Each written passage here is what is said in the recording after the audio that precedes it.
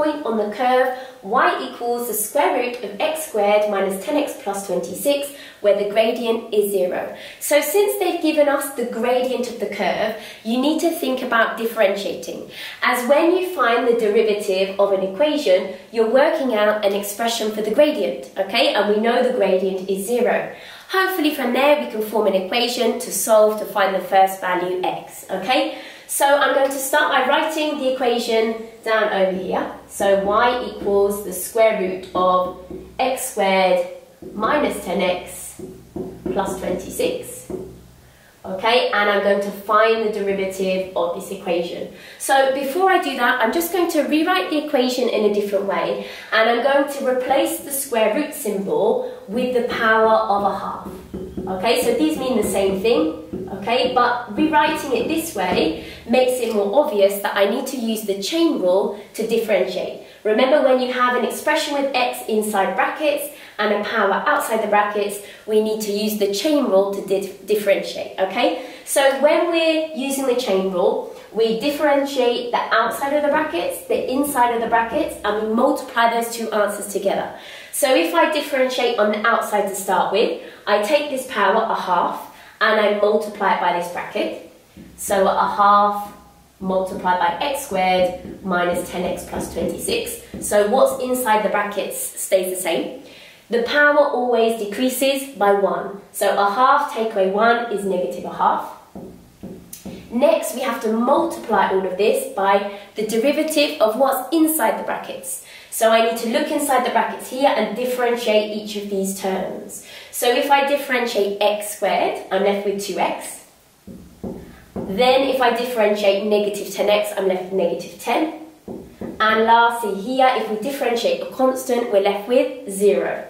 And make sure you write this answer in brackets because remember you're multiplying all of this with what's on the left-hand side, okay? So the easiest way to simplify this is to multiply this bracket by the number at the front, a half.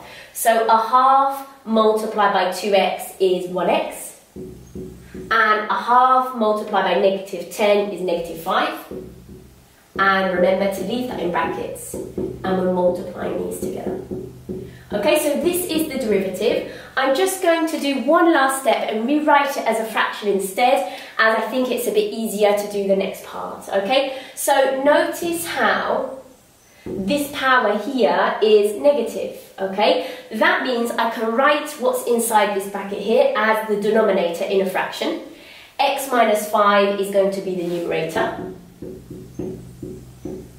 Okay, so when I write this expression underneath, x squared minus 10x plus 26, you have to remember to change the power to a positive, okay, so the sign changes. So anything to the power of a half is the same as square rooting. So instead of writing the power of a half, you can write it like so. Okay, so this is the derivative of the equation. This is the gradient of the curve at any point, okay? But remember, we're told what the gradient is. It's zero.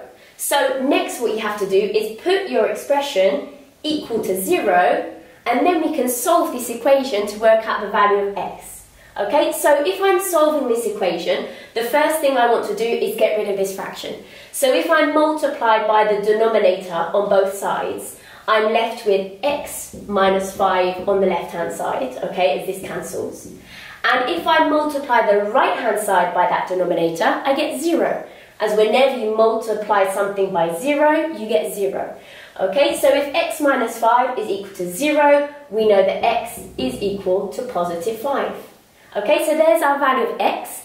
Next, what we have to do is find the value of y. So to do that, you have to substitute your value 5 into the original equation.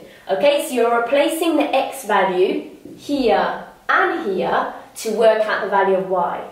Okay, so we have y equals the square root of 5 squared minus 10 lots of 5 plus 26 Okay, so um, 5 squared is 25. Negative 10 multiplied by 5 is negative 50. And plus 26. Okay, so 25 take away 50 is negative 25. And remember you're adding 26. Negative 25 plus 26 is 1. So the square root of 1 is 1. Okay, so that is the value of y. So the coordinates are 5, 1. Remember, 5 was our value of x and 1 was our value of y.